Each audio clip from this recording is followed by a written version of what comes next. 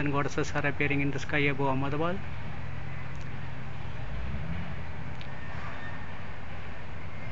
Today is 26 August 2010.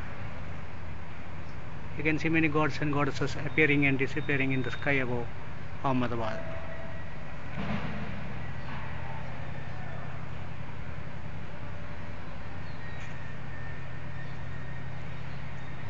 This is God Vishnu. God Vishnu has appeared in the sky lying on God Sheshnag. God Vishnu has appeared in the sky. This is God Vishnu appearing in the sky above Ahmedabad.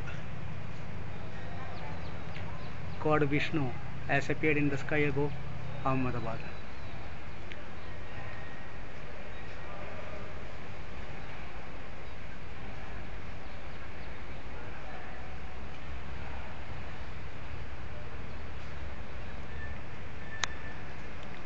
Thank you for watching.